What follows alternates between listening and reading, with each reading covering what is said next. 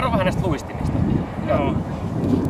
No, noit sanotaan niinku lapsluistimiksi, eli ne aukeaa tuolta takaa. Mitä? Joo. Nyt se on sen takia, että se on niinku pidemmän potku, että se jää on niinku pysyy jäässä, kun se on ajanut jalan tuonne sivulle, niin terä pysyy kuitenkin jäässä, vaikka se pystyy ajamaan nilkan sitten. Joo. Saat pidemmän eteen. Mä veikkaan, että mä en mene vielä tolle levelille.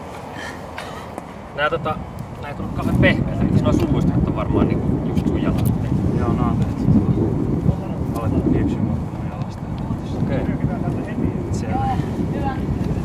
Ei nää tosiaan mikään pehmettä, tässä on vaan hiilipuito ja ohut kerros nahkaa edessä. Ei nää ihme hirveän mukavasti. Jalassa jalalla. Tuleeko jengi aina niinku tota, ilman sukkia?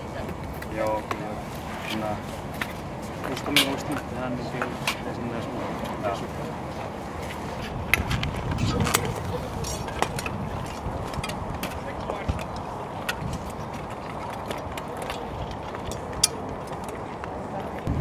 Mitäs näitten terotus sitten? Terotetaanko nää joka kerta, kun tota, lähdetään vetää vai? No, tota, yleensä ainakin isoja ainakin vähintään. Ja sitten tää ulkojalko on aina vähän roskaa.